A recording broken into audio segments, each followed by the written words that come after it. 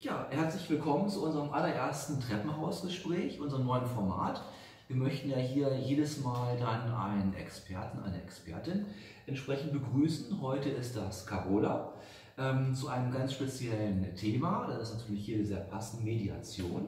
Wir wollen also entsprechend uns gemeinsam unterhalten. Treppenhausgespräch heißt ja vor allem eben auch Gespräch, heißt eben nicht nur Vortrag, sondern wir möchten uns über viele äh, Einzelheiten dabei entsprechend unterhalten. Du kannst natürlich entsprechend das Thema wunderbar darstellen und ein bisschen vortragen. Und wir wollen natürlich entsprechend auch wieder ins Gespräch kommen, um auch wirklich auch ein bisschen in die Tiefe zu gehen und natürlich auch entsprechend ähm, Aktuelles einfach auch dann hier aufnehmen zu können. Mhm. Und eine kleine äh, Frage zum Anfang natürlich, ne, wie das immer so ist. Ähm, Mediation ist ja einfach ein Thema oder ein, ein, Begriff, mit dem viele vielleicht noch nicht hundertprozentig etwas anfangen können. Ja, und oft ist sicherlich so, dass man sagen kann, ja, Mediation, Streitschlichter. Das ist ja vielleicht so die erste Assoziation, die ich entsprechend bei so einem Begriff habe. Ähm, wie stehst du zu dem Begriff und ähm, wäre das eine entsprechend passende Übersetzung? Also für mich ist dieser Begriff nicht so passend, weil Streitschlichter ähm, heißt für mich, dass derjenige, der schlichtet, aktiv eingreift in den Prozess. Also der macht vielleicht auch Vorschläge und ähm, urteilt vielleicht auch manchmal, sagt, Mensch, das war aber nicht so toll von Ihnen oder so. Und das ist das, was Mediation oder ein Mediator nicht machen sollte und auch in der Regel nicht macht. Also der schlägt weder was vor, noch ähm, bringt er seine eigenen Ideen, Gefühle, Beurteilungen in den Prozess mit ein. Das sollte also außen vor bleiben und deswegen finde ich Streitschlichter nicht passend, das ist mir einfach zu aktiv in den Prozess eingreifend. Mhm. Ja, aber das umreißt ja das Thema schon etwas ne, präziser. Ich glaube, mhm. mit deinen eigenen Worten kann man sich doch schon etwas besser etwas darunter vorstellen. Ähm, um das noch etwas hervorzuheben, würde ich gerne von dir wissen, wie läuft denn so eine Mediation ab? Also nehmen wir an, ich habe ein Bedürfnis, ich komme zu dir grundsätzlich und was passiert dann? Also wie würde der entsprechende Prozess dann aussehen, dass du entsprechend dann tätig wärst? Mhm. Ähm, grundsätzlich muss sich der Konflikt für eine Mediation eignen. Das heißt, ich frage erstmal grob, worum es geht. Ähm, lass mir das schildern aus der Sicht desjenigen, den ich vor mir habe. Und ähm, meistens gibt es ja mindestens noch eine andere Konfliktpartei dazu. Ähm, die würde ich dann auch gerne befragen. Das heißt, ich höre von dem ersten auch nicht so viel über diesen ganzen Konflikt, weil es mir eventuell schon ein Bild suggeriert, was ich eigentlich gar nicht haben möchte, denn ich möchte ja beide Seiten gleichberechtigt hören. Und deswegen frage ich immer, ob die zweite Partei oder die anderen Parteien, können ja auch mehrere sein, ob die auch damit einverstanden sind, eine Mediation durchzuführen und ähm, kläre dann auch ab, wie das weiter vorwärts gehen soll. Also ob ich die anderen kontaktieren soll und denen das vorschlage oder ob die Partei, die bei mir ist oder mit der ich spreche, das vorschlagen möchte. So wäre der Start. Mhm. Du hast gesagt, es gibt ähm, Situationen, die für eine Mediation geeignet sind mhm. und welche, die nicht geeignet sind. Mhm. Hast du vielleicht äh, jeweils ein Beispiel, wo es wunderbar funktionieren könnte und wo es vielleicht einfach äh, Schwierigkeiten gäbe? Mhm. Also geeignet sind eigentlich fast alle Konflikte, Partnerschaft, Familie, Generationenkonflikte, Geschäftsübergaben, ähm, Streitigkeiten in Vereinen, Organisationen, also eigentlich da, wo Konflikte sind, kann man auch immer versuchen, eine Mediation einzusetzen.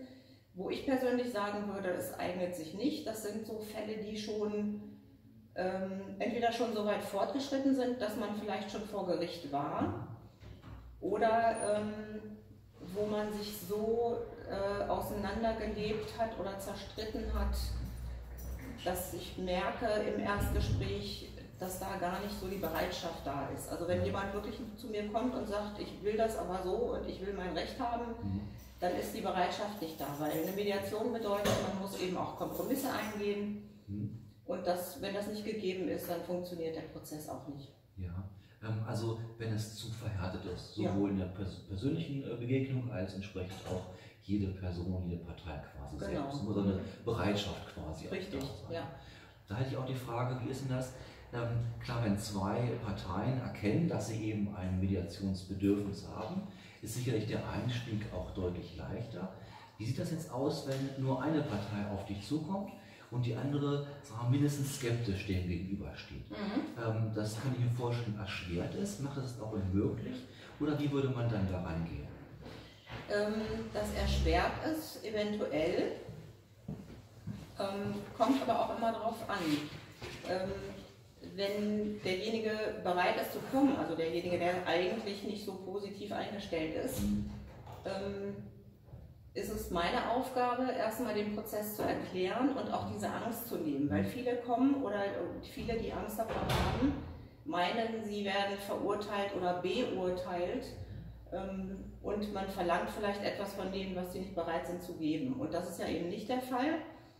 Und da ist meine Aufgabe, den Prozess zu erklären und ähm, denen zu sagen, dass meine Aufgabe auch ist, allparteilich zu sein. Also ich mhm. bin sowohl für die Bedürfnisse des einen wie für des anderen ja. zuständig und gucke, dass alle zu ihrem Recht kommen. Mhm.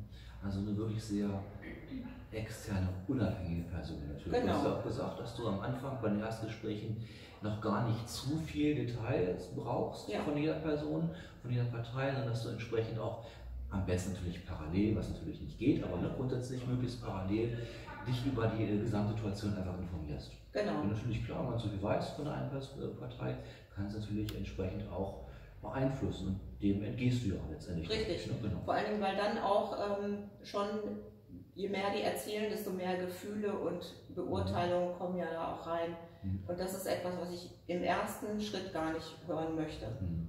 Das kommt dann später. Ja. Das wird alles dann verarbeitet, aber vorerst nicht. Genau. Und wenn wir jetzt uns vorstellen, also ich war jetzt quasi bei dir, ich habe meine Gegenpartei quasi mitgebracht, wir sind entsprechend uns einig, dass wir äh, uns von dir ja, helfen lassen möchten. Mhm. Ähm, wie läuft denn so eine Mediation dann konkret ab? Ähm, vielleicht hast du einfach ein Beispiel, eine Beispielsituation, ohne natürlich jetzt, also anonym natürlich, klar, logischerweise natürlich ist Mediation immer eine sehr heikle Angelegenheit, mit sehr viel Vertrauen verbunden natürlich.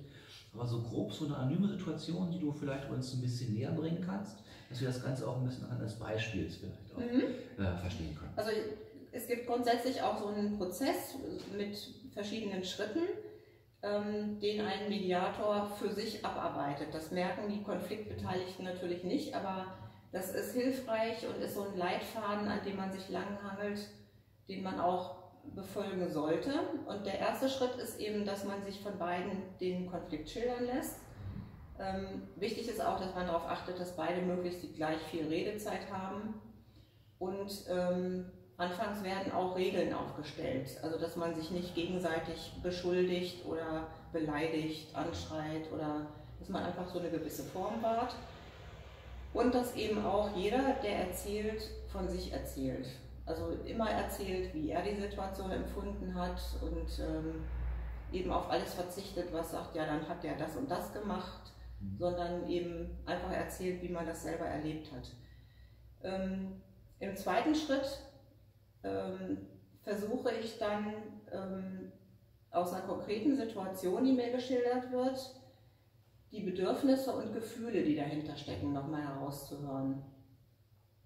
Und das ist oft schon ein Prozess, wo äh, schon vieles sich klären kann oder so, so, so, so, eine Aufweichung, finde ich, stattfindet, weil jeder merkt, ähm, oha, das ist ja nicht nur so ein, so ein Kotzbrocken, den ich da vor mir sitzen habe, sondern der hat ja auch Gefühle und Bedürfnisse und das erleichtert dann auch schon vieles. Und ähm, dann im weiteren Schritt, also ich liste das dann auch auf, also ich mache denen das auch sichtbar. Ähm, das wird angeschrieben auf Karten oder auf einem Flipchart. Und diese Prozesse sind da unterschiedlich lang. Also das kann äh, mal Stunden dauern, bis so alle Gefühle und bis das so alles erarbeitet ist. Und im nächsten Schritt würde ich zum Beispiel dann die Konfliktbeteiligten bitten, ähm, dass einer erzählt, was er vom anderen verstanden hat, wie der die Situation erlebt, ähm, was der für Gefühle, Bedürfnisse hat, dass man das also so spiegelt. Und auch da ähm, kommt dann oft schon viel Verständnis. Und durch dieses gegenseitige Wiedergeben erreicht man eben auch nochmal so ein, so ein anderes verstehen bei demjenigen, der zuhört. Ähm, da kommt dann auch dann manchmal so raus, dass, dass man sagt, nee, so habe ich das gar nicht gemeint oder ähm, ja, eigentlich ist es genau das, was derjenige vielleicht gar nicht so gesagt hat und derjenige, der es wiederholt, gibt es in seinen Worten wieder ähm, und das verdeutlicht dann nochmal vieles. Und am Ende einer Mediation guckt man natürlich auch, wie kann man, wenn es jetzt zum Beispiel ein Nachbarschaftsstreit ist, wie kann man in Zukunft friedlicher miteinander leben. Und dann versuche ich eben mit den Konfliktbeteiligten Regeln aufzustellen, die ich allerdings auch wieder nicht vorgebe, sondern das sind Vorschläge, die kommen von den Konfliktbeteiligten. Ähm, die werden auch aufgelistet und dann guckt man am Ende auch, wie realistisch ist denn das? Oder je nach Konflikt guckt man, was kann ich zuerst umsetzen, was braucht vielleicht Vorbereitungszeit, was braucht sowieso ein bisschen länger, dass man dann am Ende so eine Vereinbarung hat, wo sich beide dran halten. Ja, und dann ähm, je nachdem, wie die Konfliktbeteiligten das möchten, kann man entweder sagen, gut, wir setzen uns in sechs Wochen nochmal zusammen und gucken mal, ob die erarbeiteten Punkte auch wirklich funktionieren oder ob wir noch nachbessern müssen. Ja, oder wenn die sagen, nö, passt erstmal, dann ist auch gut. Also der, es ist immer so, dass die konfliktbeteiligten Mediatoren sagen, die sind die Experten für ihren Konflikt und die entscheiden eigentlich auch, wie es am Ende abläuft.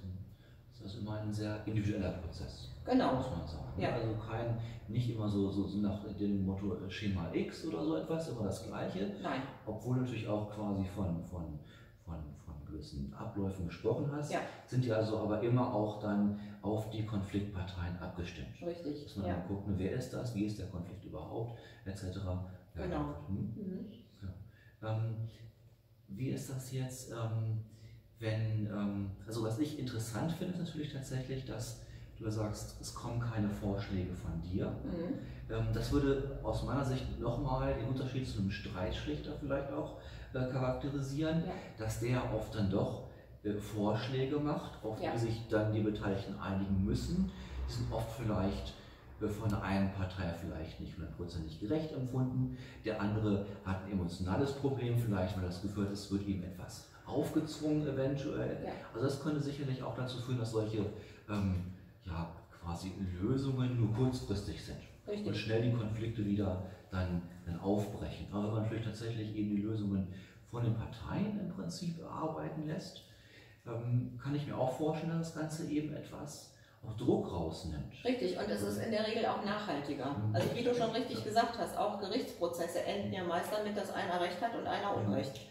Und ähm, das Verhältnis zwischen den beiden ist aber belastet zwischen den Parteien. Und das ist bei einer Mediation eben auch Ziel, dass man eben wieder, ja, dass es die, dass es die Beziehung schont und äh, eventuell sogar wieder verbessert. Ja, also, also vor allem geht es hier um die Personen ja. und nur im zweiten äh, Schritt quasi eigentlich um das Problem das, das konkrete Problem. Also nehmen wir einen Nachbarschaftsstreit beispielsweise. Mhm. Also es geht ja vielleicht oftmals viel mehr um das persönliche Verhältnis zwischen den beiden Nachbarn, als dass der Baum dort tatsächlich irgendwelche Blätter verliert. Das an sich ähm, ist vielleicht, wäre vielleicht, wenn es ganz neutral wäre, leichter zu regeln, als wenn die Parteien bereits sehr emotional in der Situation einfach auch gefangen sind. Ja, richtig. Und oft stecken hinter sachlichen Konflikten ja auch Gefühle oder irgendwelche Erfahrungen aus der Kindheit oder sowas, was man dann unbewusst mitschleppt und auf den anderen projiziert und da quasi seine nicht verarbeiteten Gefühle rauslässt und eigentlich liegt das Problem ganz woanders. Ja, merkt man tatsächlich, das ist ein sehr psychologischer Prozess auch oft. Ja, auch. Grundsätzlich tatsächlich, dass man auch mhm. mit den Leuten wirklich sehr in die persönliche Tiefe auch manchmal gehen ja, muss. Ja, das stimmt. Eben um die Sachen. Und natürlich nochmal extra äh, sehr, sehr sensibel natürlich auch. Ja. Deswegen ist klar, dass man natürlich auch sehr sensibel mit den gesamten äh, äh Personen, aber auch mit Sachverhalten natürlich auch umgehen muss. Ja, das stimmt. Klar, es sind meistens irgendwo auch ähm, Verletzungen oder wirklich Gefühle, äh, die tief gehen und ähm, ja, da, da, kommen natürlich auch Tränen und Aber letztendlich, wenn das alles verarbeitet ist oder mal ausgesprochen ist, dann ist es eben auch gut. Dann gehört es einfach zum Prozess dazu. Ja, ich glaube auch, dass es in die andere Person sich mal rein zu versetzen, sicherlich immer ohnehin schwierig ist, aber ich glaube mit einer Hilfe deutlich einfacher ist, das auch mal zu testen. Ja. Da würde ich mal zu gucken, wie geht es dem anderen denn eigentlich? Wie ist denn seine Position? Und gerade wenn die Positionen etwas verhärtet sind, eben auch aufgeregt sind, ne? und Mhm. quasi auch selber äh, sehr ja, emotional verbunden ist mit dem Konflikt, glaube ich, ist das schwierig, alleine das zu machen. Es gibt selten Motivation dazu. Das stimmt. Und da glaube ich, ist eine, eine Hilfe von außen, die ja eben nicht wertend auftritt, Ja. grundsätzlich, doch auch äh, sicherlich äh, sehr, sehr nutzbringend. Richtig. Und ich habe auch oft das Gefühl, ähm, dass wenn ich äh, die Sätze, die ich höre, wiederhole oder beziehungsweise das Gesagte in meine Worte fasse und dann nochmal wiedergebe, was, wie ich es verstanden habe, dann ist das auch bei dem jeweils anderen, ähm, wird es anders aufgenommen. Also dann ist automatisch nicht so äh, dieses, dieses negative Verhalten da, wo ich denke, hm, was hat der jetzt, sondern das ist einfach wird neutraler aufgenommen. Ja. Und dadurch ist auch schon wieder mehr Verständnis da. Dann ist man bereit, Sachen anders zu hören. Ja, wenn man wirklich in einem starken Konflikt ist, dann ist es ja fast manchmal egal, was der andere sagt. Ja, Man richtig. redet grundsätzlich negativ, weil es der andere sagt. Richtig, ne? Und dann ja. ist vielleicht nicht verkehrt, mal aus einem anderen Mund zu hören oder vielleicht auch einfach mal mit anderen Worten. Richtig, Weil jeder ja. hat ja seine eigene Sprache und vielleicht versteht der einfach meine Sprache nicht. Das stimmt. Und wir reden aneinander vorbei beispielsweise. Ja. Auch das ist sicherlich dann mit der dritten Person Ja. eventuell dann leichter. Ne? Das ist genau so, ja. Das stimmt. Ähm, jetzt haben wir ja vor allem über das Thema ja, persönliche Konflikte, also du hast ja Beispiel genannt, äh, vielleicht der Erbschaftsstreit, vielleicht der Nachbarschaftsstreit. Mhm. In Familien kommen ja auch öfter mal Konflikte äh, entsprechend dann auch vor. Ähm, wie ist das denn in dem, sagen wir, in dem, in dem Bereich vom Berufsumfeld? Ne? Wir sind ja auch ein Verein eben auch für Unternehmer, Unternehmerinnen grundsätzlich. Und da kann ich mir vorstellen, in Unternehmen selbst ähm, kommen ja auch immer wieder Konflikte vor. Ja. Wäre auch äh, da ein Mediator, eine Mediatorin ähm, dann vielleicht auch äh, nützlich? Und in welchem Bereich könnte man sich das vorstellen? Also ich finde es sehr nützlich und ich würde mir das auch wünschen, dass das viel öfter genutzt wird. Ähm, denn gerade auch so am Arbeitsplatz oder auch die Erkrankungen, die psychischen Erkrankungen stehen, meine ich, inzwischen an zweiter Stelle, an zweithäufigster Stelle von allen Erkrankungen und eben dann auch damit verbunden oft Ausfalltage. Und ich würde mir einfach wirklich wünschen, dass das öfter eingesetzt wird, dass Vorgesetzte und ähm, Firmenchefs genauer hingucken, wo gibt es Konflikte in Teams, in Abteilungen oder wo hat vielleicht auch jemand persönlich einfach einen Konflikt. Ne? Dass man einfach da mal hinschaut und das anbietet. Denn, also ich bin sowieso davon überzeugt, dass dann von so einer Mediation alle gewinnen können. Auch der Vorgesetzte, der Chef, der spart sich da eine Menge Ärger und eventuell läuft es hinterher sogar im Team besser. Denn ähm, alles, was oder die Zeit, die für Konflikte aufgewendet wird, das ist ja eine Zeit, ich sage jetzt einfach mal, wo kein Geld verdient wird, ne? sondern wo, wo auch nicht gearbeitet wird, sondern wo eben gestritten wird. Und das kann man sich sparen. Oder eben durch schlechte Motivation der Mitarbeiter. Ja, ne? Das ist ja das auch, auch. eben ein Effekt. Ja. Das heißt also, es ist nicht immer nur diese Anführungsstrichen 1 zu 1 Situation, sondern du kannst dir auch vorstellen, so eine Mediation auch in einer Abteilung vielleicht mit mehreren Parteien, auch das Ja. wäre also etwas, was die, mal, die Unternehmenskultur, die Mitarbeiterkultur vielleicht auch wirklich dann nachhaltig verbessern kann. Richtig, genau. Mhm. Ja, sehr schön. Ja. Ich glaube, da haben wir erstmal wirklich einen ziemlich guten Überblick, äh, glaube ich, gewonnen, Mhm. was eben Mediation leisten kann. Ähm, dass äh, durchaus sehr sinnvoll ist, auf jeden Fall in vielen Fällen darauf zurückzugreifen. Ja. Sicherlich gibt es manchmal so eine, so eine Scham eigentlich, aber du hast ja vor allem gesagt, als völlig neutrale Person, als nicht wertende Person, ist die eigentlich gar nicht, gar nicht notwendig. Also man Nein. muss sich gar nicht schämen, sondern man kann sagen, wir haben hier einen Konflikt, da kommen wir jetzt nicht weiter. Ähm, hilf uns mal bitte. Genau, Quasi, ne? genau. Und es geht auch nicht um falsch und richtig. Also das hatte ich auch schon, dass Leute dann eben mitten im Konflikt gesagt haben, so nach dem Motto, oh, habe ich jetzt alles falsch gemacht in letzter Zeit und dann ist es mir wirklich wichtig zu sagen, es geht hier nicht um falsch und richtig, sondern sie haben es einfach oder ihr Gegenüber hat es einfach anders wahrgenommen, als sie es gemeint haben. Ja. Es geht nicht um falsch und richtig und deswegen, es gibt eigentlich am Ende auch keine, keine Verlierer in so einer Mediation, denn es profitieren eigentlich in der Regel beide davon. Mhm. Also wieder ein Miteinander herzustellen. Ja. Nur quasi, genau. Genau. Da können wir kurz unser Motto natürlich ne, miteinander, ja. sondern mehr möglich machen, passt natürlich wunderbar dazu. Aber genau darum. Genau, ja. genau. Also tatsächlich eben den Konflikt aufzulösen ja. und nicht eben ein, ein, ein Gerichtsurteil zu sprechen. Richtig, ja. Genau, genau. Ja, ähm, wie sieht es denn bei euch aus? Da sehe ich eine Frage da hinten. Susanne. Das brennt mich schon unter den Nägeln. Oh ja. Würde mich ja interessieren, oder wie bist du zu dem Thema gekommen? Das war eigentlich ähm, eine Fernsehserie. Die läuft jetzt irgendwo wieder. Ähm, ich vergesse auch immer, wie sie heißt. Doch, äh, Paul Kemp heißt sie, glaube ich, auch wirklich. Das ist, dieser, das ist der Mediator, ich meine, das ist eine österreichische Serie. Die habe ich geguckt, das ist etliche Jahre her und dann saß ich davor und habe gedacht, das könnte ich eigentlich auch. das war wirklich so. Und dann habe ich aber gedacht, na gut, man muss wahrscheinlich studieren oder was auch immer. Und ähm, habe mich dann irgendwann auf die Suche gemacht, grundsätzlich nach etwas, was mir wieder mehr Herausforderungen bietet. Also meinen Job mache ich seit über 30 Jahren und irgendwann kann man alles. Ist zwar immer noch auch interessant, aber so ein bisschen fehlten mir die Herausforderungen. Und dann habe ich gesucht, ich glaube, ich habe letztendlich auch zwei Jahre gebraucht bis ich das dann gefunden habe, weil es musste zeitlich möglich sein neben der Arbeit, es musste finanziell möglich sein und es musste natürlich auch sein, was ich aus Überzeugung mache. Und für mich ist es jetzt so eigentlich meine Berufung und ja, dann habe ich das gemacht und finde es toll. Kann, kann das jeder machen oder gibt es eine äh, Zertifizierung für? Oder es, es, gibt ja etliche für Beraterzertifizierung. Ist das dort auch so? Kann das jeder machen? Es kann. Oder eine qualifizierte Ausbildung dafür? Kann man sich das selbst beibringen? Oder wie ist das Berufsbild? Hm, selbst beibringen nicht. Ähm, es kann theoretisch jeder machen.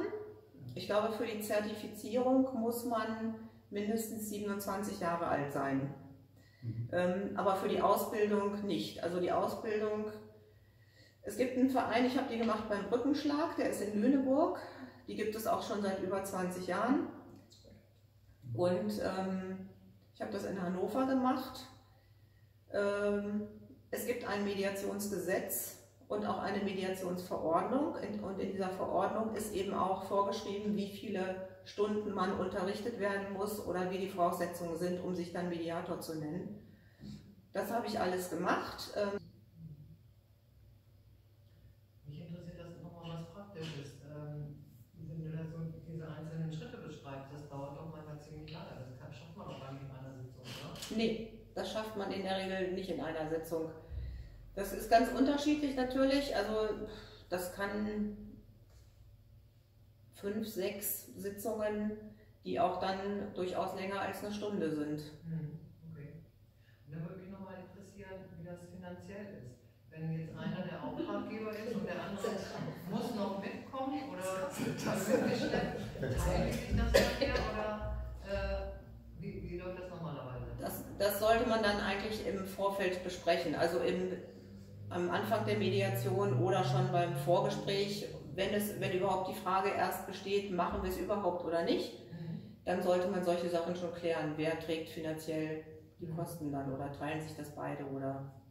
Aber manchmal ist es auch so, dass derjenige, an dem, der sich anmeldet, dann sagt, dann bezahle ich das eben oder dem das wichtig ist, oder? Ja, zumindest erstmal die ersten zwei Sitzungen oder so, um zu mhm. gucken, ob es funktionieren kann und dass man dann nochmal neu guckt.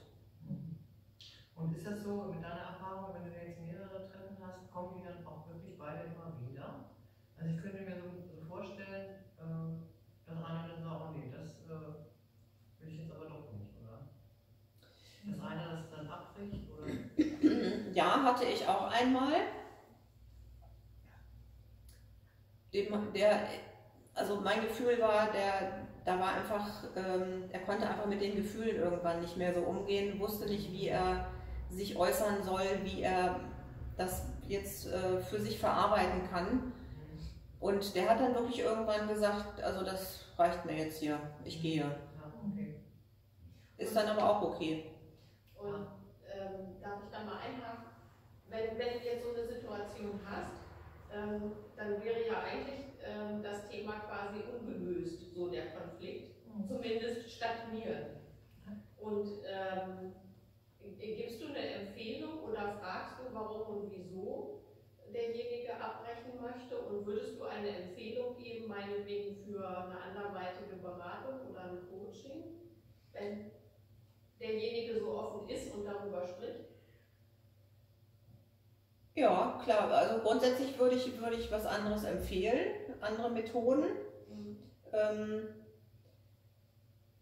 ähm,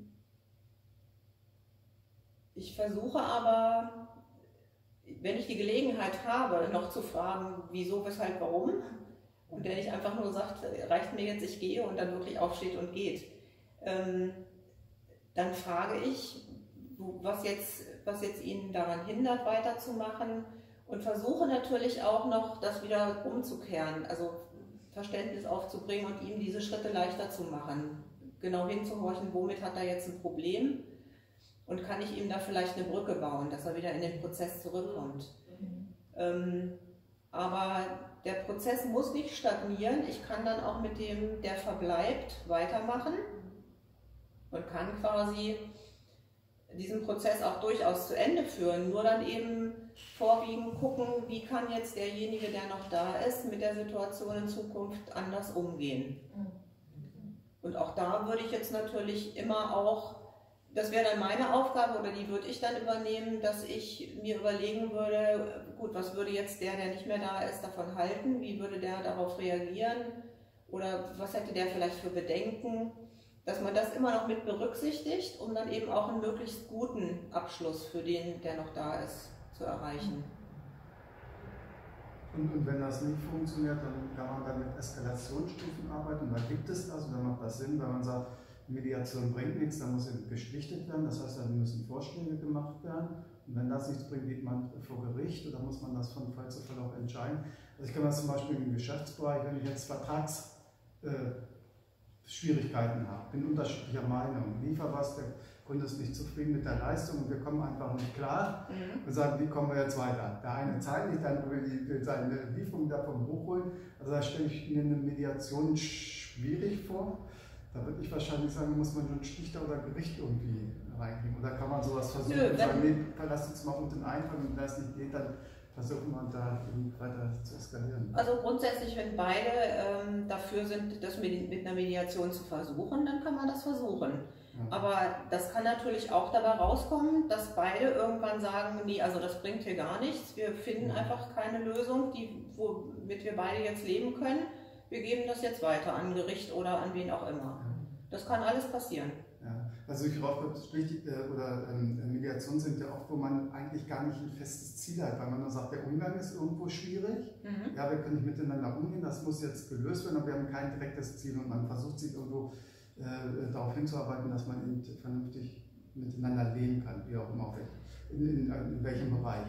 Und wenn man jetzt so Vertragsverhandlungen hat, dann muss man ja irgendwo ein Ziel erreichen. Ein mhm. Ziel, was eigentlich ein Kompromiss ist, wo beide Seiten sagen, ja, das akzeptiere ich, das nehmen wir jetzt hin. Langfristig wollen wir das grundsätzlich anders umgehen, damit man sowas nicht mehr vorkommt. Ne? Ja, wobei so ein, so ein Ziel in Anführungsstrichen gibt es auch in der Mediation. Das ist dann eben das Thema, was geklärt werden soll. Und da kann es mehrere geben.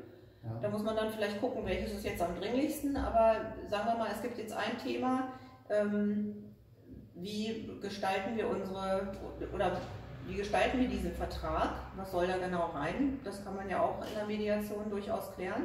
Mhm. Dann ist das eben das Thema und dann ist es eben auch das Ziel, möglichst das so zu gestalten, dass eben beide damit zufrieden sind. Wenn du Mediation im privaten Bereich äh, machst, äh, passiert es dir dann auch äh, manchmal, dass du denkst, jetzt bin ich in so einem Graubereich, ist das noch Mediation oder ist das schon eher therapeutisch? Hast du das schon mal erlebt und wie gehst du dann damit um? Ja, ähm,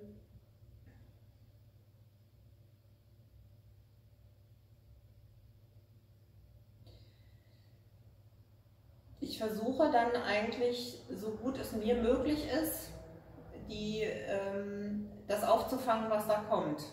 An Gefühlen oder an äh, was auch immer, Befindlichkeiten.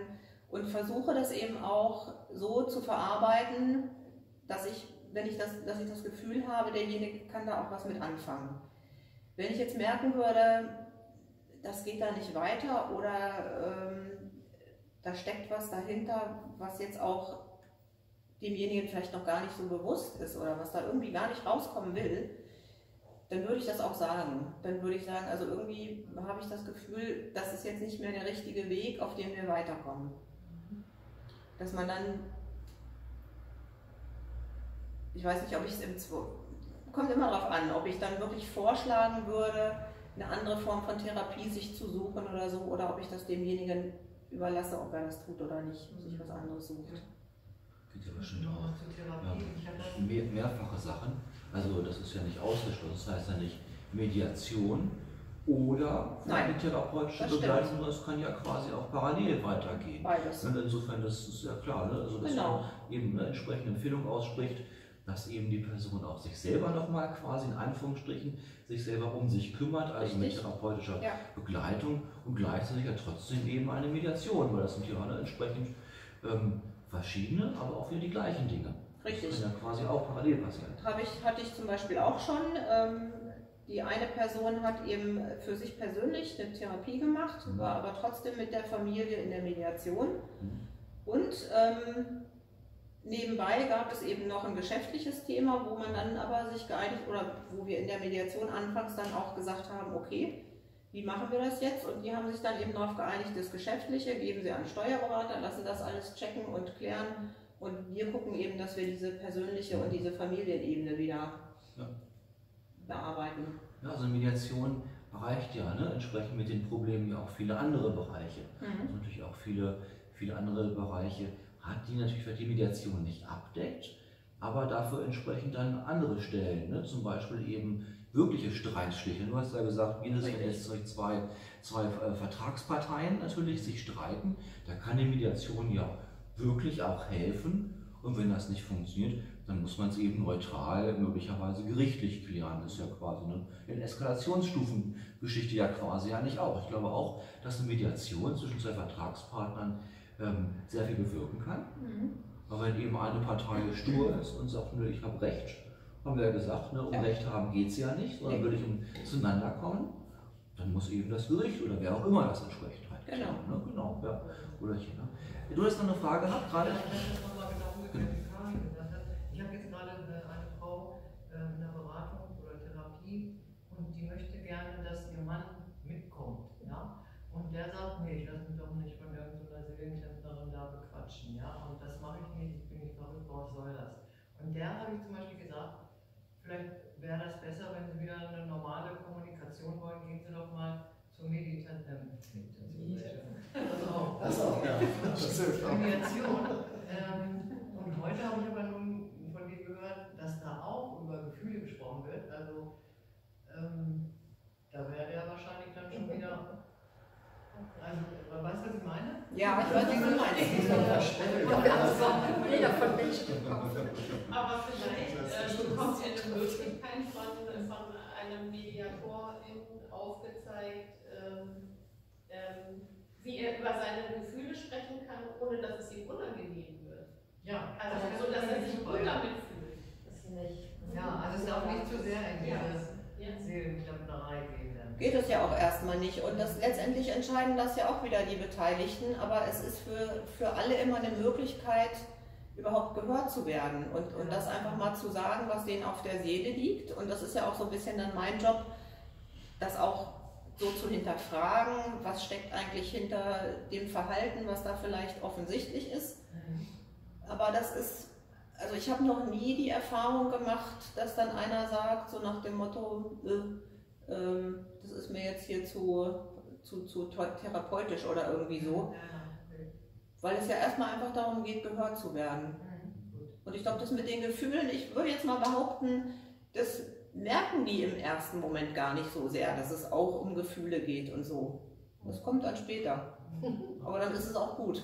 Ich glaube auch, dass die, dass die Neutralität hier vielleicht auch eine Rolle spielen könnte. Hat der Mann ja auch einfach nur Angst, dass wenn er seine Frau zu der Therapeutin äh, der Frau begleitet, dass es quasi zwei gegen eins gegen ihn eventuell Ja. gehen könnte. Genau. Und gerade in der Mediation äh, kann es ja ne, entsprechend auch das Eis brechen, indem man zeigt, man ist vollkommen neutral natürlich. Ja, Ne, das ist sicherlich auch ein wichtiger Aspekt. Das macht ganz ja. viel aus. Das, das ist auch das Wesentliche, dass wirklich beide das Gefühl Mhm. haben, sie sind gleichberechtigt und nicht einer hat Recht, einer Unrecht, einer ist schuld und nee, darum geht es nicht.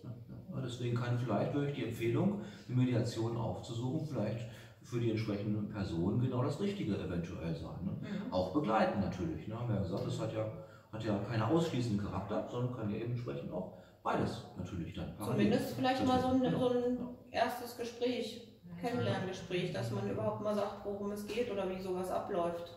Mhm. Es kriegt natürlich so ein bisschen Schwergewicht, wenn eine Person aus dieser Konstellation Mediation oder Therapie ist und dann nochmal Sachen reflektieren, die andere nicht. Finde ich, finde ich, finde ich ein bisschen schwierig, so ein bisschen unfair. Weiß nicht, da denke ich gerade. Also, das- andersrum ist es noch, noch unfairer, wenn jetzt jemand, der Mann jetzt dazukommt und man schon länger mit Ja, ja, klar, natürlich. Das ist ganz Ja, ja, schwierig. Das klar. ist nicht so. Ja. Aber wenn beide jetzt neu anfangen, dann würde ich sagen, nee. Ah.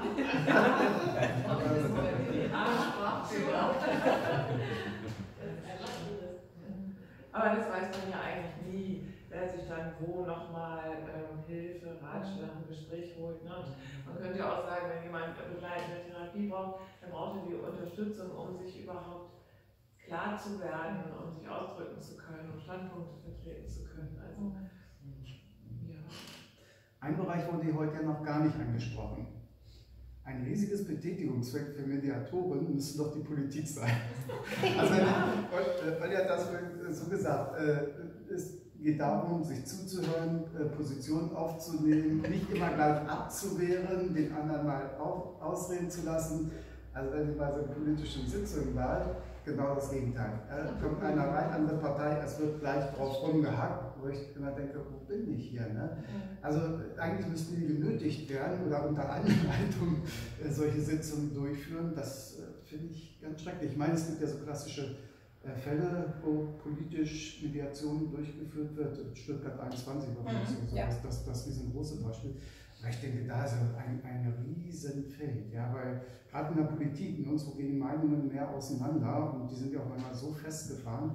Und da denke ich auch, eigentlich mal ganz klein anfangen, dem anderen zuhören, Meinungen akzeptieren und versuchen, äh, erstmal miteinander vernünftig umzugehen äh, und äh, gemeinsam irgendwo was ja, umsetzen zu wollen. Ne? Auch wenn man unterschiedlicher Meinung ist, denn gerade in der Politik geht es ja darum, gemeinsam irgendwas ähm, ja, umzusetzen in, zum Wohle auch anderer. Ne? Mhm. Und da finde ich, also das fiel mir so die ganze Zeit immer mit ein, wo ich sage, da wäre das wirklich mal notwendig. Das müsste auch ein großes Betätigungsfeld sein. Notwendig, ja, aber ich würde mich da schon wieder fragen, ist das da überhaupt gewollt? Oder wollen die diesen, diesen Machtkampf und diese Zweikämpfe, um eben zu zeigen, hey, wir sind die, Idee, um sich zu profilieren. genau, wir sind die Stärkeren, wir sind die Besseren und äh, ich glaube, das gehört dazu. Und die Frage ist auch, ob die, ob die Zuschauer das wirklich wollen. Ob die so ein Geschmuse wollen, wo Ja. alle hinterher. Also Ne? die, Medien, die Medien sowieso nicht, die heizen ja immer noch an. Ne?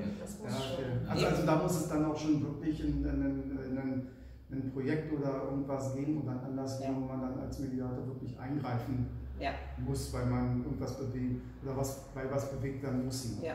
Vielleicht ist es bei den Politikern auch eher so, dass die, bevor die dann ins Abgeordnetenhaus gehen oder in den Gemeinderat oder in den Stadtrat, einfach erstmal einen Kurs in gewaltfreier Kommunikation. Genau. Das Ja, genau. Und in Fairness und politischer, sprachlicher Also, Korrektheit. Ja, keine Situation sofort? Das sondern erstmal, wie geht man eigentlich ordentlich und wertschätzend konstruktiv miteinander um. Ne? Ja. Ja, was? Ähm, ich habe noch eine Frage zum Nachher. Ähm, ich kenne es so aus dem Problem-Approach beim Mobbing. Das ist ja durchaus ein ähnlicher Ansatz, um Mobbing-Situationen aufzulösen, wo man auch ohne Wertung reingeht, beide Parteien hört. Kommt mir ganz viel so bekannt vor. Ähm, da hat man ja so Effekte, dass hinterher auch was bleibt bei den Personen, wenn die einmal gelernt haben, einen Konflikt so zu bewältigen, auf diese sehr besondere Art und Weise, dass sie beide zu Wort gekommen sind, ne, dass sie beide ihre Lösung finden konnten, dass nicht irgendjemand sagt, das machst du jetzt so. Das hat ja sehr interessante ähm, Komponenten auch so für die eigene Entwicklung. Mhm. Kann man das auch so, vermute mal, dass es Forschung dazu gibt ähm, oder wie das bei dir ist, kannst du so wahrnehmen, dass das hinterher in den Organisationen, wenn du Organisationen beraten hast oder wenn du da gearbeitet hast, oder auch in Beziehungen, dass du was verändert hast im Verhalten zueinander hinterher, dass sie was übernommen haben. Verstehst du die Frage? Ja, verstehe ich. Ähm, teilweise merke ich das sogar schon in dem Prozess, dass ich die Leute gar nicht mehr darauf hinweisen muss oder, oder bitten muss, bei sich zu bleiben und Ja. von sich zu erzählen, statt anzuklagen und, und Vorwürfe zu machen. Bei manchen funktioniert das schon in der zweiten Stunde, dass die wirklich, dass ich auch merke, die überlegen sich, wie sie es sagen und versuchen bei sich zu bleiben und erzählen, wie sie das empfunden hat, wie es ihnen damit geht und so. Mhm. Ja, und ja, auch schon, ich habe auch schon Leute hinterher wieder getroffen, die dann auch gesagt haben, ähm, gut, die Beziehung existiert vielleicht nicht mehr, aber man hat grundsätzlich einen anderen Umgang. Mhm. Das ist ja dann nochmal ein Gewinn auf einer anderen Ebene, Ja. der ja viel nachhaltiger ist, fast noch. Ja.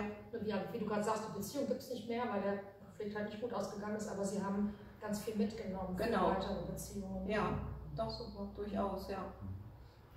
Und gibt es auch ab und zu das Bedürfnis nach so einer Nachsorge vielleicht? Also wenn die Mediation vielleicht schon ähm, ja, beendet ist, man hat sich eben entsprechend geeinigt, man ne, geht halbwegs zufrieden vielleicht oder ganz zufrieden entsprechend von dir weg, dass man sagt, man möchte vielleicht in einer gewissen Zeitabständen sich nochmal mit dir treffen und nochmal gucken, ähm, äh, was ist in der Zwischenzeit passiert, haben wir die Sachen entsprechend auch wirklich durchsetzen können, Mhm. ob wir da vielleicht nochmal eben so ein, ein entsprechendes Gespräch vielleicht bei dir auch dann Mhm. durchführen können. Ja, also gibt es auch. Ähm, das kommt immer darauf an, wie, wie gut die hinterher dann miteinander können und die Sachen selber regeln können. Aber gerade wenn es darum zum Beispiel geht, wenn sich ein Paar trennt und Kinder hat, wie regelt man das? Wann sind die Kinder wo? Wie macht man es Weihnachten und solche Sachen?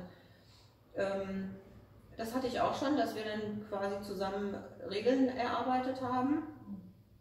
Und ähm, dass sie dann hinterher einfach nochmal gekommen sind und gesagt haben, hat irgendwie nicht so gut funktioniert, Mhm. wollen wir nächstes Mal anders machen oder ja. Aber bei eben etwas, was vielleicht auch, also wir haben ja gesagt, Mediation vor allem bringt die Leute zusammen. Mhm. Das heißt ja noch nicht, dass der Konflikt selber zu 100% äh, gelöst ist. Das ja, müssen die Leute ja auch selber Mhm. Ja. entsprechend machen. Es gibt ja auch Konflikte, die sich in dem Sinne vielleicht wirklich, wenn es um ein geschiedenes Ehepaar mit entsprechenden mit Kindern letztendlich beispielsweise geht, vielleicht ist nie jemand hundertprozentig zufrieden. Mhm. Und Kinder werden ja auch größer, entwickeln sich Ja. auch. Kann ja auch sein, dass entsprechend eine Lösung, die vielleicht vor zwei, drei Jahren noch äh, günstig gewesen ist, vielleicht jetzt in dem Alter der Kinder vielleicht nicht mehr ganz so günstig ist. Also auch da vielleicht Mhm. wieder ein Prozess angestoßen werden muss Ja. und entsprechend auch begleitet wird. Genau. Aber wenn die dann gute Erfahrungen gemacht haben mit einer Mediation, dass man da wirklich vernünftig äh, was regeln kann, dann kommen die auch wieder. Ja, das kann man vorstellen. Ja.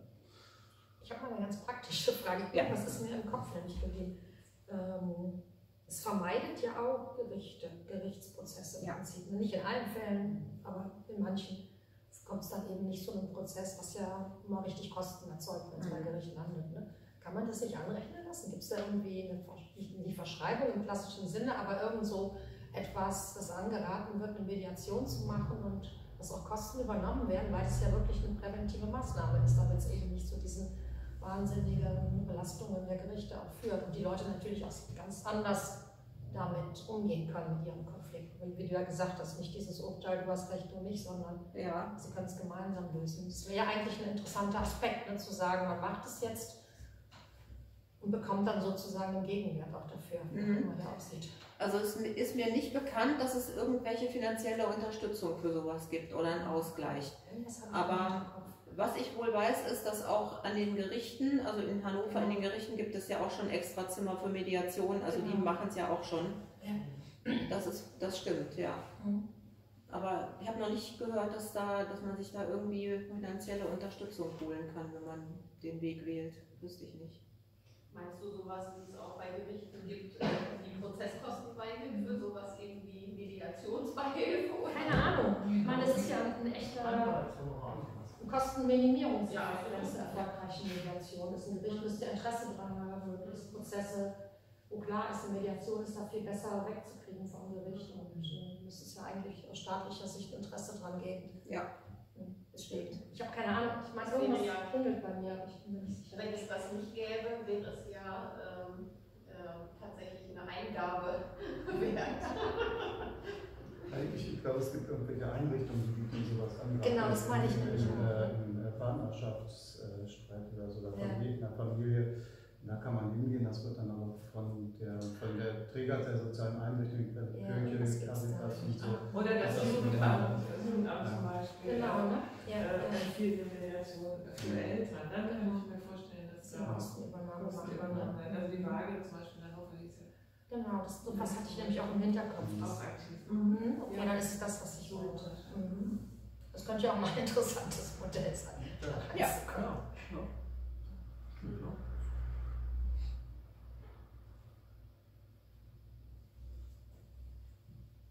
Gut, wollt ihr noch, noch irgendwas Spezifisches von Carola wissen? Was euch im Bereich äh, interessiert? Wie ist denn das bei dir, Rainer, mit deinen Mitarbeitern? Gibt es da viele Konflikte, die, die gelöst werden? Das ist eine fiese Frage. Ja, ja. Bei uns ist alles in Ordnung. Ja. Sagt der Chef. Wir reden später darüber. Ja, ja, ja. Schneiden wir raus dann natürlich. Nee, äh, die Situation ist tatsächlich so. Ich meine, ich, meine, ich hatte auch mal versucht, äh, regelmäßig Dienstbesprechungen weil das, äh, zu machen. Das ist immer so eine einseitige Sache. Da habe ich immer das Gefühl, die Mitarbeiter haben Angst, irgendwie, wenn sie alleine sind, irgendwas zu sagen. Äh, und ich habe tatsächlich mal eine Beratung äh, gemacht, so zwei, drei Tage eigentlich Unternehmensentwicklung. Aber da habe ich schon gemerkt, dass sie auf einmal redseliger sind. Und die Beratung hat dann auch gesagt, äh, ich möchte doch mal mit denen alleine sprechen, damit die dann halt auch Tacheles reden. Ich dachte, die haben doch für mich keine Geheimnisse, aber anscheinend gibt es doch irgendwo mal einen Sprachbedarf, den sie mir gegenüber nicht äußern, den sie bei, in einer Mediation durchaus äußern würden, weil die Bedingungen anders sind. Und so würde ich sagen, ja doch, äh, wenn man das mal anbieten würde, äh, ist die Frage, will man das als Unternehmer? Äh, aber ich glaube schon, äh, dass da etliche Sachen auf den Tisch kommen würden und äh, die auch für die Unternehmensentwicklung förderlich sind, weil man das als Chef, als, als äh, ähm, Geschäftsführer eines Unternehmens einfach nicht sieht. Ja? Und äh, man selbst sieht nicht den Bedarf, und dass man sagt, wir machen das einfach mal, wäre man hinterher wahrscheinlich positiv überrascht, ja? was dabei rauskäme. Und äh, nicht nur Kritik, das muss jetzt nicht in dem Sinne Nee. irgendwo eine, ähm, eine Streitigkeit sein oder irgendwas, und das kann ja auch durchaus sein, dass man sagt, ja, die haben irgendwo versteckte Sachen im Kopf, die da schlummern, die kommt man nicht raus, immer so eine Mediation, wo einfach mal beide Parteien was sagen können. Das ist vielleicht ein anderer Ansatz oder eine Richtung, aber man hat ein, ja, aus verschiedenen Parteien mal etwas rauskitzelt, was da im Kopf schlummert. Ne? Mhm. Das können wir schon vorstellen. Ne? Genau, und sowohl Positives wie auch Negatives. Also Ja. wenn man die Gelegenheit hat, auch, auch mal in einer vernünftigen Form zu sagen, was man sich vielleicht anders wünscht, dann Mhm. ist man vielleicht auch bereit zu sagen, ja, und da hätte ich noch eine Idee vielleicht, ne? Ja. Ich finde auch ganz interessant, was du gerade angesprochen hast, dass eben deine Mitarbeiter vielleicht in deiner Anwesenheit sich vielleicht nicht unbedingt trauen, etwas zu sagen. Die Frage an dich dazu, müssen immer vollumfänglich alle Parteien gleichzeitig äh, quasi im Mediationsgespräch sein? Oder gibt es auch Situationen, wo es vielleicht mal sinnvoll sein kann, dass du mit einer Partei vielleicht auch mal alleine vielleicht eventuell ein Gespräch zwischendrin führst? Sicherlich nicht die ganze Zeit, aber eben vielleicht mal, weil eventuell man merkt, die eine Partei traut sich vielleicht nicht in Anwesenheit des, der anderen Partei, sich, ähm, ja, sich zu öffnen eventuell oder bestimmte Mhm. Dinge auch eventuell zu äußern. Ja, ja, interessante Frage. Ja, ähm, kann ich mir gut vorstellen. Hatte ich zwar so noch nicht, aber ähm, kann ich mir durchaus vorstellen. Und ähm, muss man dann, glaube ich, auch aber sehr sensibel mit umgehen, weil dann muss ich wieder gucken am Ende dieses Gespräches oder auch beziehungsweise mit demjenigen besprechen, was davon gebe ich in welcher Form weiter. Denn es muss ja auch irgendeinen Sinn haben. Also ähm, es soll ja möglichst, es spielt ja anscheinend eine Rolle in der Mediation, sonst wäre ja dieses Gefühl bei ihm nicht da oder bei ihr. Also muss ich es ja hinterher auch wieder irgendwie sinnvoll in den Prozess mit einbringen. Und dazu muss ich dann eben genau gucken, was gebe ich wie weiter. Oder die andere Partei fühlt sich vielleicht nicht gleich behandelt, weil das, das, das Einzelgespräch mit der einen Partei, also Ja. müsste man vielleicht auch da gucken, dass man ne, ein Einzelgespräch eventuell auch einer anderen Partei vielleicht durchführt. Ja. Aber ja, ich glaube, aber ich glaube auch, dass eventuell ne, bei solchen Situationen ist vielleicht wirklich ganz gut, mal eben den Chef quasi nicht dabei zu haben. Den sowieso nicht. Also den in der Regel sowieso nicht. Genau, ja. Also zumindest nicht, zumindest, Ja, das, zumindest nicht, wenn, wenn die kein Coaching machen. Außer zu mir. Genau. Nee, Chefs eigentlich, ähm, eigentlich grundsätzlich nicht, wenn es, wenn es jetzt um Konflikte innerhalb von einem Team oder zwei Mitarbeitern oder wie auch immer geht, ist der Chef eigentlich außen vor. Klar, wenn der das quasi beauftragt hat, ähm, dann ähm, handhab ich das aber sogar so, dass ich sage, dass ich frage, was ist denn, wenn dabei rauskommt, dass Sie das Problem sind als Chef? Wie gehen Sie denn damit um? Hm, ja, Möchten Sie das dann überhaupt wissen? Mhm. Also das muss schon klar sein, weil äh. Wenn der hinterher sagt, ja, das ist ja schön und gut, aber was habe ich damit zu tun? Geht mich Mhm. doch nichts an. Hm. Dann funktioniert das ja auch alles nicht. Ne? Also wenn der eine Rolle spielt, dann, dann muss er damit ja auch umgehen können. Aber das sind alles Sachen, die müssen auch vorher klar sein. Und es muss auch klar sein, dass wenn, wenn jetzt ähm, das Mitarbeitende sind, wenn die sagen, nee, wir klären das erstmal unter uns und der Chef erfährt erstmal von den Inhalten gar nichts, vielleicht am Ende, dann muss das dem Chef auch so mitgeteilt werden. Und dann, dann muss er auch entscheiden, passt mir oder passt mir nicht. Ja. Also da finde ich, das nützt auch nichts, wenn man da irgendwie äh, einem nach dem Mund redet oder sagen, ja, wir kriegen das schon hin und wir gucken mal. Nee, es muss einfach klar sein. Ja. Weil sonst wird man dem auch nicht gerecht. Das ist auch gefährlich, ne? Also das, man wird ganz schnell instrumentalisiert. Richtig, ja. Ja. Die Mitarbeiter, hm, was wir immer schon mal über den Chef sagen wollten, kannst du das mal dem Chef weitergeben. Und der Chef auch. Also ich kenne es aus anderen Konzepten, dass, ähm, dass wir hinterher auch gemerkt haben, ups, wir waren da zwischen den Fronten und das war ganz ungut. Da Mhm. muss man richtig aufpassen. Genau, ja. Das ist ähm, nicht ohne. Ja. Ja, muss man aufpassen, dass man vom, vom Auftraggeber keinen verdeckten Auftrag übernimmt. Genau, Das auch, genau, ja. genau, genau, genau. Ja. Ja, ja, doch mal. Ja. Das ist schon immer mal für meine Mitarbeiter. Ja, ja, das ist äh, Ja. hochgefährlich. Ja. Man merkt es häufig gar nicht, Eben, ja. Da so passiert. Ne? Ja. Die verabreden sich dann und manipulieren. Mhm. Ja. Vielen, vielen Dank, Carola, dass Ja, du uns hier so auch. fleißig Rede und Antwort gestanden hast. Sehr gerne. Ähm, mir hat es viel Spaß gemacht. Mir ich auch. dir auch. Super, sehr schön. Ja. Ähm, ich glaube, das war für den Auftakt wirklich eine schöne Veranstaltung. Mhm. Und ich denke, dass wir auf jeden Fall fortfahren werden. Ja. Und ähm, ja, äh, vielen Dank. Und mal super. einen ordentlichen Applaus vor allem auch. Ne?